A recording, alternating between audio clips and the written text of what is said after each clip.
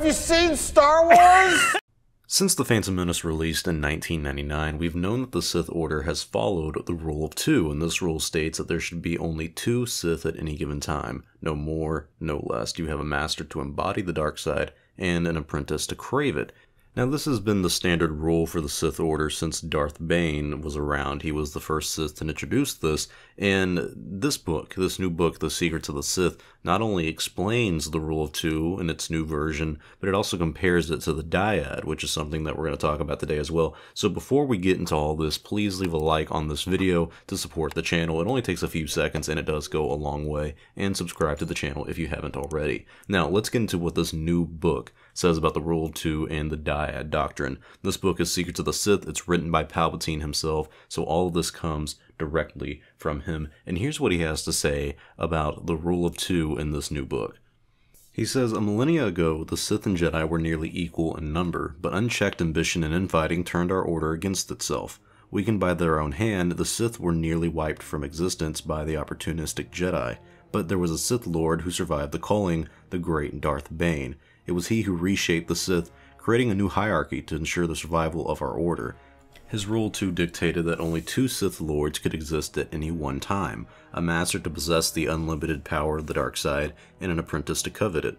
But no Sith is ever content merely coveting power. A true Sith Lord takes that power for themselves. Lord Bane's own apprentice struck him down to claim Bane's place, and so began a magnificently vicious cycle. Many Sith apprentices, myself included, have supplanted their masters in order to ascend, yet not all apprentices survive long enough to seize the power they were taught to desire. So that's his take on the Rule 2, and not just his take, the actual canonical explanation of the Sith Rule 2 at this point, which is not different at all than what we had from the expanded universe version of the Rule 2, and it's all pretty much the exact same.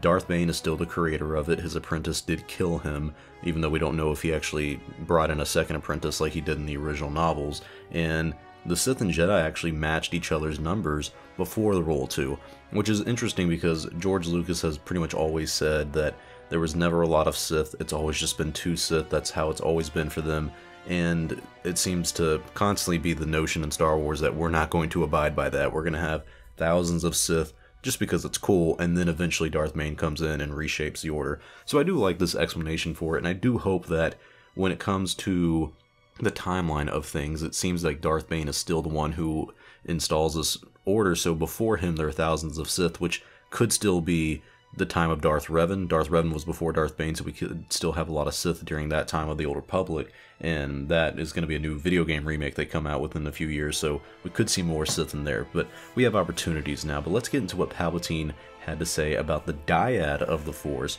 and how it works. So bear with me, this page is a little longer than the one about the Rule of Two, but there's a lot more to go over, and it's a lot more intriguing in my opinion. So this is called a dyad in the Force, and it says, There are a few secrets of the Force I have yet to master, but our Order's ancient prophecies speak of one fabled manifestation unseen for generations, a dyad.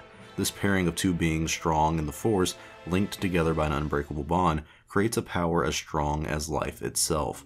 For millennium, the Sith have adhered to the rule of two, but this decree is said to merely be a pale imitation of its predecessor, the doctrine of the dyad. Legends claim that two beings sharing this profound connection gain access to a great number of abilities, skills beyond the grasp of even the most powerful force wielder. Members of the dyad were believed to be capable of transferring their life force to heal others. Some could even pass physical objects through time and space in an instant if two Sith were bonded so deeply as to transcend their physical beings, the power they could unlock together would know no limits. The next passage is called Broken Bonds, and it says, The dyad is an elusive connection, one that cannot be created through will alone.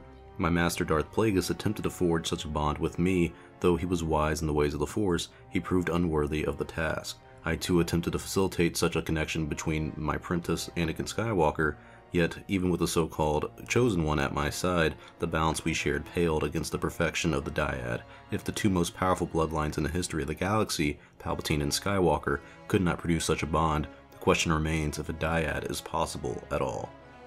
And the last part says, Forging the Future, and it says, The doctrine of the dyad was etched into the walls of my citadel on Exegol eons ago, a constant reminder of its significance to the, our order. To my Sith Eternal, the dyad is not merely the stuff of ancient legend, it is the future of the Sith, the key to unlocking the full potential of the dark side. But if a new dyad is to be formed, with whom shall I share its legendary power? It is doubtful young Kylo Ren will ever prove himself a more worthy apprentice than his grandfather Lord Vader. Perhaps then my long-lost granddaughter will accept her birthright and rule the galaxy by my side.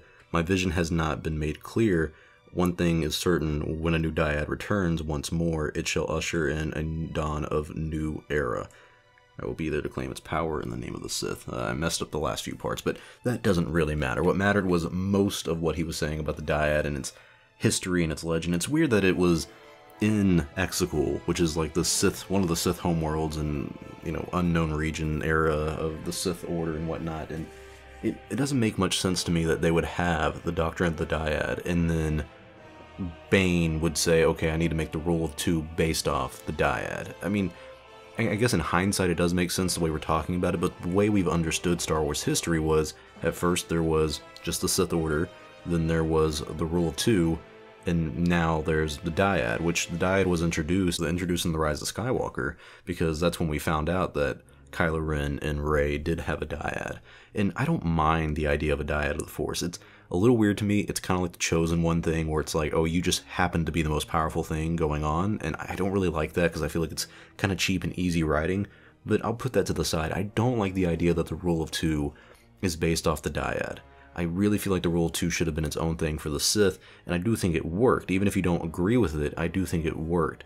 And in my mind, if they already knew about the Doctrine of the Dyad, why didn't they follow that from the beginning? Why didn't they try doing that countless times? It just seems like adding the Dyad isn't the worst idea. I feel like adding it in conjunction to the Rule of Two is the bad idea, and I really wish they would keep them separated, because I, I even feel like the, the Jedi would know about the Dyad. The Jedi haven't said anything about the Dyad, and I feel like if they found out about this, they would approach it a little bit different, right? Like, what would they do? Would they want two people to have this connection in the Force? Would they think this is sacred or something? Would they try to make this connection? Or do they think the Force does this by itself? Which seems to be the case because not even Plagueis or Sidious, who are two of the most powerful Sith Lords of all time, they couldn't even make the dyad happen. But then at the same time, in The Last Jedi, Snoke did say that he is the reason Rey and Kylo Ren could see each other. So it having the dyad kind of makes things a little messy. The only other dyad that we know about would be Darth Revan and Bastila Shan in the Old Republic, but we don't even know if that's canon yet. So I do hope it does become canon. I do hope we learn a little bit more about the Doctrine of the Dyad, but uh, I'm not I'm not holding out on that anytime soon. I think it's going to be a few years before we explore the Rule 2 and before we explore the Dyad even more. But tell me your thoughts in the comments section below. What do you guys think about the rule of two versus the doctrine of the dyad? Which one do you think is more powerful? Which one do you think the Sith should go for? Should they stick to the rule of two because of the dyad, or should they only focus on creating the dyad in the Force? Because if I was an apprentice and I wanted to defeat my master, I don't feel like having a dyad in the Force would be fruitful. I feel like Plagueis had that good idea because he wanted him and Palpatine to be equal, and I think Palpatine just wanted to be the master and then have the other person in the dyad just be his apprentice, I don't think that would have worked out either way. So tell me your thoughts in the comment section below. Thank you guys so much for watching. If you like this video, please give it a like and subscribe to the channel if you haven't already. If you're interested in picking up this book, Secrets of the Sith, click the link in my description below and save 15% off your order by using the code Star Wars Saga. I'm Star Wars Only. I'll see you all next time, and may the Force be with you always.